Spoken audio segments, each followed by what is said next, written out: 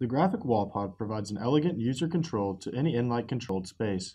Its 3.5 inch high resolution touchscreen is easy to view and simple to use. Once our device is powered up, touch the screen. What you see is the factory default setting with two controls operating on two different channels, one on-off and one on-off with dimming option. To begin setup and configuration, access the password protected screens by pressing the lock icon at the top left of the screen you will be prompted to enter in the factory default password of 1234.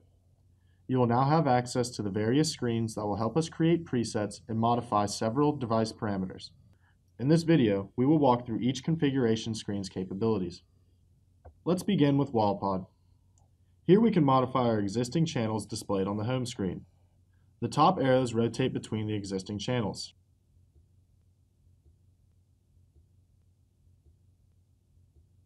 Edit allows you to rename each channel.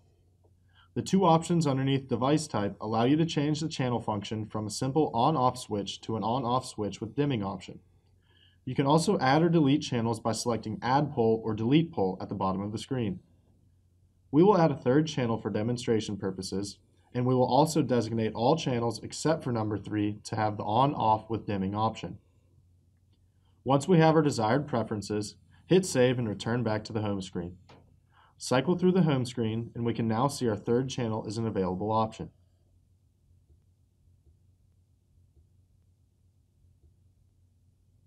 The next option we have in setup mode is lighting preset, where we can add or edit any lighting presets.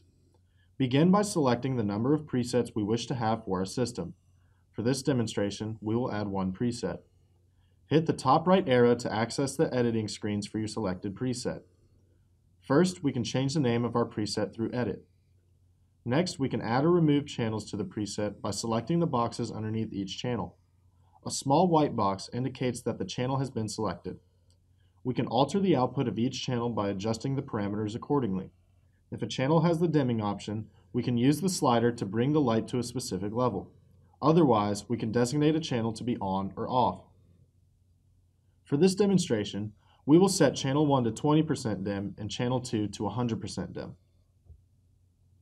Channel 3 will remain off in this preset. Once we have our desired presets in place, select the back arrow in the top left corner and save so that our updates can be uploaded to the system. By default, the presets will be designated to the second page on our home screen. If we press our preset, we will see that both lamps will dim to 20%. This is because, by default, all nLight devices communicate on channel 1 out of the box. To change this, we will need to change the switch tracking channel of our right lamp, which brings us to the third option in setup mode. Set switch tracking is where we can address individual devices so that they operate on a specific channel or switch.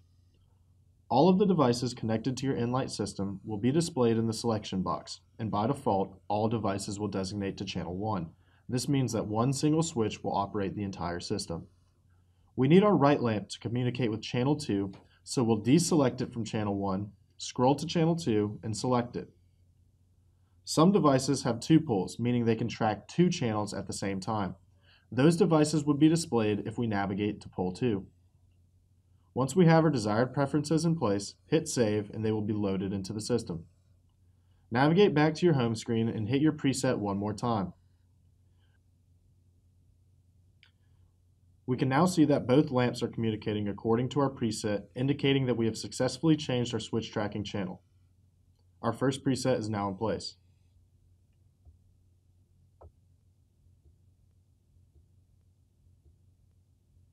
The fourth option in setup mode is wall pod reference. This screen indicates which device's dimming output the on-screen wall pod will track. All of the devices in your system that are recognized by the graphic wall pod will be displayed in the selection box.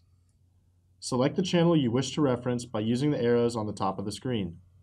Then select the device which will have its output referenced by the respective channel and add devices to suit your specific need. Press save so your preferences can be loaded to the system.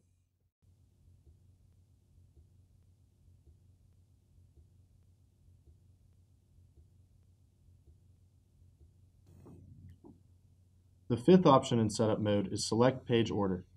Here you can customize the order of information displayed on the WallPod home screen. Pressing either presets, scenes, or WallPods will cycle the number to its right. These numbers represent the screen which the info will be displayed on. 1 is the default home screen, and 0 will disable the button from displaying. The final option in setup mode is NPOD GFX Setup. Here's where you can customize basic settings of the WallPod, such as password, labels, screen settings, restoring factory settings, and clearing scenes. In Change Password, you will be prompted to enter a new password two times. Once entered the second time, your new password will be set. In Editing Label, you can change the name of the graphic wall pod device. We can customize the screensaver image that appears after a timeout through screensaver mode.